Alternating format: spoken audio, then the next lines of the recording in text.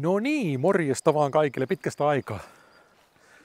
Tässä on jonkun verran vierähtänyt aikaa. Ei ole tullut ihan semmoiseen niin totuttuun tahtiin videoita tänä keväänä, mutta siihen on syynsä. Siitä hetken päästä lisää ja kaikista muistakin asioista. Ja vielä videon lopussa tulee yksi erittäin tärkeä asia, eli katsokaa koko video loppuun asti. Että ette sitten missaa sitä koko videon tärkeintä pointtia. Mutta joo, ajattelin nyt vähän käydä tässä läpi nyt viimeaikaisia kuulumisia ja justiin kun ei ole hirveästi ehtinyt videoita tekemään, metallietsintävideoita on pari kappaletta editointipöydällä, mutta ei vaan kerta kaikkiaan ole kerinnyt niitä editoimaan. Enkä ole kerinnyt kyllä ihan niin paljon käydä etsimässäkään kuin aikaisemmin, aikaisempina keväinä. Ja syy on yksinkertaisesti se sama, mitä olen valitellut jos, joskus aikaisemminkin näillä videoilla, eli ei riitä aika. Töitä on niin paljon. Käydään kurkkaamassa vähän täällä pajalla. Täällä on todella nyt sitten sekasta. Täällä on vähän muutama projekti keske. Ja tadaa! Tässä on se yksi suuri kiireiden aiheuttaja, eli prodeerauskone. Sellainen tuli hommattua tähän nyt sitten myös kaikkien muiden painatushommien kaveriksi. Täällä oli muuten, katsotaan tosta vähän hupparia nopeasti. Bike-linkille. Ja e-bike Protersille lähti tommosia huppareita ja ne oli tuo DJsin Fashion huppareita viimeisen päälle laadukkaita, mutta tämä painatus oli jännä. Tähän tuli tämmöinen kohokuviopainatus. Se ei varmaan videolle kyllä oikein hyvin näy, mutta livenä näkyy paremmin ja tuntuu. Eli se on tommonen vähän korkeampi korkeampi fontti, taikka siis profiili siinä, se on aika paksua se kalvo, mistä se tehdään. Näkiskohan tosta. Tuossa on se kalvo nyt leikkurissa paikallaan. Niin se on tuommoista noin millin vahvaa. Niin sitten tulee aika hieno, hieno struktuuri tuohon painatukseen. Kaikkea tämmöistä on kokasteltu, niin aikaa on kulunut ja töitä on todella paljon nyt tällä hetkellä, mikä on tietysti hyvä juttu niin kuin yrittäjyyden kannalta, mutta sitten just näitä harrastuksia se vähän haittaa. Eli siitä syystä niin ei ole ihan hirveästi ehtinyt panostaa nyt näihin videoihin, mutta sen verran voin kertoa tuosta metallietsintäjutusta. Eli yksi todella mielenkiintoinen projekti tulee olemaan syksyllä, syyskuussa, niin lähden käymään Englannissa Detectival-tapahtumassa. Eli on ainakin Euroopan suurin tämmöinen metallietsintätapahtuma. En tiedä sitä maailman mittakaavassa, että paljonko löytyy vielä suurempia, mutta Sinne on tarkoitus lähteä, sinne lähtee meitä semmoinen vähän isompi porukka, hyviä tyyppejä lössi mukaan ja sieltä on tarkoitus tehdä sitten useampiakin videoita.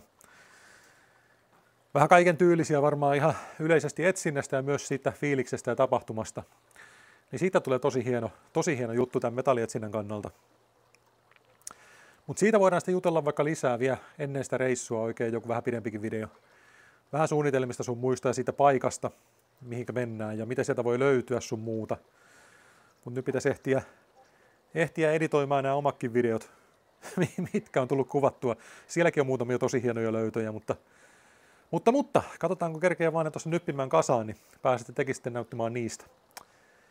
Mutta sitten yksi asia, mihin liittyy se video viimeinenkin asia, niin mä yhdellä live-lähetyksessä, yhdessä live-lähetyksessä juttelin, että mulla on tämmöinen elämän elämäntapa parannusprojekti käynnissä ja painonpudotusprojekti. Ja nyt se vappuna tuli päätökseen. Meillä oli kaverin kanssa siis veto, että kummankin pitää painaa vappuna alle 100 kiloa. Ja jos toinen ei paina alle 100 kiloa, niin sitten se voittanut osapuoli saa määrätä, että mihinkä tämä hävinnyt lahjoittaa hyvän tekeväisyyteen 100 euroa, niin saa valita kohteen, kohteen että mihinkä tämä hävinneen osapuolen pitää se lahjoittaa. Mutta meillä kävi niin onnellisesti kummallakin kaverin kanssa, että meikäläinen paino 99,8 vappupäivänä tai vappuaamuna. Eli 200, 200 grammalla mentiin tavoitteen alle. Kaveri alittikin sen sitten paljon reilummin, niin sille ei ollut hädän päivää, mutta molemmat tosiaan päästiin tavoitteeseen. Ja niin kuin näkyy, se on meikäläiselläkin paidan koko nykyään L. en ole LK-paitaa käyttänyt sitten tiedä koska. Vatta on hävinnyt jonnekin. XL on aina ollut vaatekoko ja mä oon itse tosiaan yrittänyt armeijan, armeijan jälkeen, niin en ole painanut alle 100 kiloa vastako nyt. Eli semmonen 20 vuotta tässä on mennyt. Pitkä projekti ollut. 117 kiloa on ollut pahimmillaan paino tänä aikana.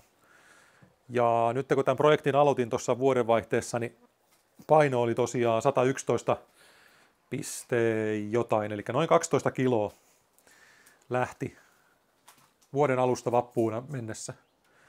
Ja enkä laihduttanut kyllä porkkanaa syömällä, enkä salaattia syömällä, vaan ihan siis niin kuin todella rasvasia ruokia syömällä. Niin hullulta kuin se kuulostaa. Eli jätin kaikki hiilarit, hiilihydraatit pois, perunat pois, leivät pois, karkit pois, sipsit pois, limut pois, kaikki tällaiset. Ja tilalle voita, kermaa, lihaa, kananmunaa, kasviksia totta kai. Niitä meni myös jonkun verran. Mutta ne ei ollut missään nimessä se niinku runko siinä ruokavaliossa, vaan sitten vaan tukemassa. Tukemassa.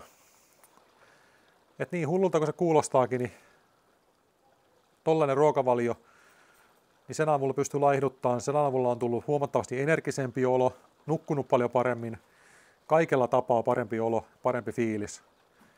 Siihen vielä sitten jossakin vaiheessa niin pätkä paastokaveriksi, eli söin kaikki ateriat 6 ja 12 välillä, pääasiassa kaksi isoa ateriaa vaan päivässä.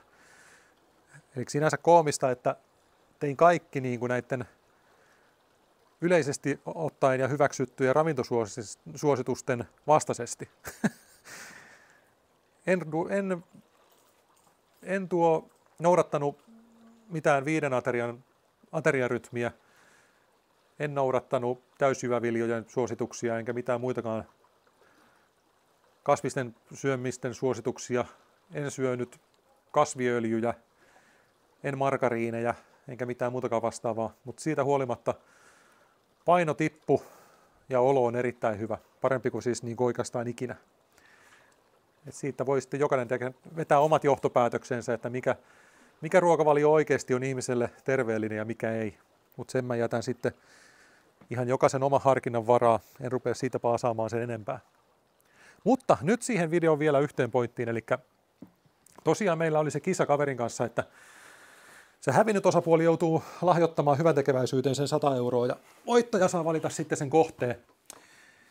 Niin mä nyt sitten on päättänyt kuitenkin, että vaikka molemmat päästiin maaliin, eli hävinneitä ei tässä hommassa ole, niin mä oon päättänyt itse kuitenkin lahjoittaa 100 euroa hyvän tekeväisyyteen.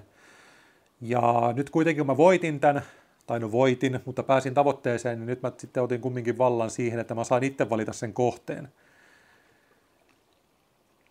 Ja se kohde, mihin mä haluan lahjoittaa 100 euroa, tai itse asiassa olen lahjoittanut jo, on kriisikeskustukitalo Sastamalassa. Eli semmoinen paikka, mikä tekee todella tärkeää työtä tämmöisenä aikana, että kun ihmisillä on suoraan sanottuna ihan helvetin vaikeaa rahallisesti, etenkin nyt kun on kaikki nämä talousvaikeudet, niin ne on vielä pahentanut ihmisten ahdinkoa, ei ainakaan missään nimessä helpottanut, ja tosi monella ihmisellä on paha olla – niin ne tekee semmoista työtä, että sinne voi ihan kuka vaan, kellä on periaatteessa mistä syystä tahansa huono olla, niin sinne voi soittaa, sinne voi ottaa yhteyttä, siellä voi varata ihan henkilökohtaisen tapaamisen tai voi sopia ihan anonyymisti, anonyymisti jonkun keskustelun, että jos haluaa niin kuin asioita purkaa ja asioista jutella, tai ihan vaan niin hakea apua omaan olotilansa, niin se on semmoinen paikka, mihin voi ottaa yhteyttä, ja se palvelu oli kaikille täysin maksutonta. Eli niin kuin omasta mielestäni niin tuo, he tekee ihan helvetin, ja, anteeksi, he tekee ihan todella tärkeää työtä. Niin sinne lahjoitin 100 euroa ja lahjoitus onnistuu Mobile Payllä sovelluksella. Ja numero, minkä se pistetään, on sellainen, kun pitää luntata 98961. Mä pistän sen vielä tuohon kuvauskenttään ja vielä tähän videollekin tähän näin, niin tuo vaikka tuohon kohtaan jonnekin ruudun kaappauksen siitä, että kun sen kun näpyttelee tuonne MobilePayhin, niin sieltä tulee kriisikeskus tukitalon tiedot, että näkee, että se ei ole mikään numero, mistä rahat tulee mulle. Jos joku tosiaan haluaa myös osallistua tuohon lahjoitukseen, siinä voi ihan tosiaan kuka tahansa yksityishenkilö käydä pistämässä semmoisen summan, kun haluaa ja itsestä hyvältä tuntuu. Kenenkään ei tietenkään taas pidä välttämättä mennä mitään lahjoittamaan, mutta tämmöinen mahdollisuus siis on, että sinne pystyy jokainen rahaa laittaa ja itse ajattelin nyt sitten sen mahdollisuuden käyttää. Että vielä just se, siitäkin syystä, että kun he, nuo palvelut kaikki on maksuttomia, niin siitä pystyy jokainen niin kuin miettimään, että kuinka tiukassa se raha siellä on.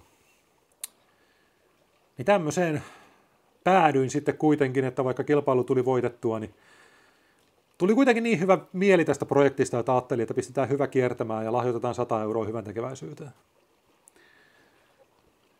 Pistän tosiaan tuohon videon kuvauskenttään vielä tuon MobilePayn numeron, niin sieltä löytyy, sieltä kaikki halukkaat sitten, ketkä haluaa myös käydä lahjoittamassa, niin löytyy numero ja pääsee tekemään lahjoituksen, jos siltä tuntuu.